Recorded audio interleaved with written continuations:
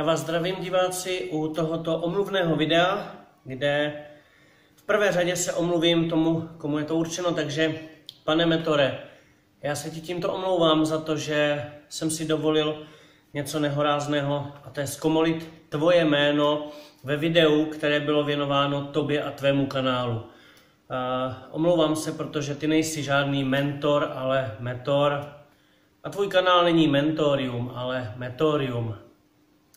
Také se omlouvám za to, že jsem si dovolil uh, milně informovat diváky, že máš nějakých 1300 odběratelů, když už jich máš víc než 1800.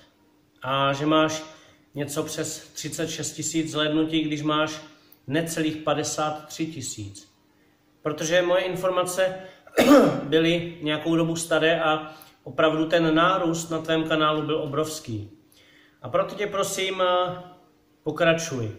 Jdi znovu do natáčení, eh, dej lidem vědět, jak to dopadne, jestli a kdy budeš točit. Doufám, že až dostuduješ, tak se začneš znovu věnovat natáčení, protože tvoje videa jsou super.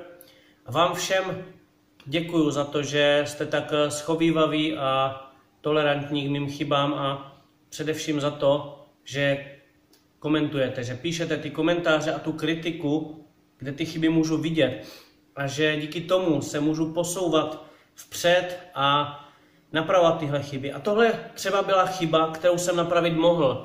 Jo? Omluvit se je možné. Je potřeba neutíkat před problémama, neutíkat před chybama, které děláme, ale ty chyby napravovat.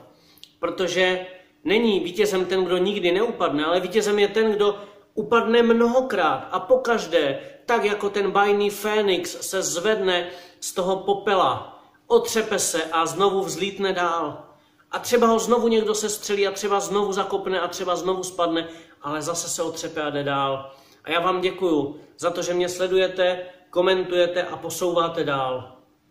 A tobě, pane Metore, ještě jednou se omlouvám a prosím, přijmi tuhle omluvu a vy ostatní běžte vpřed, pozvedněte se z těch chyb a pádů, které jste udělali a jděte dál. Já se s váma budu těšit u dalších videí a ahoj.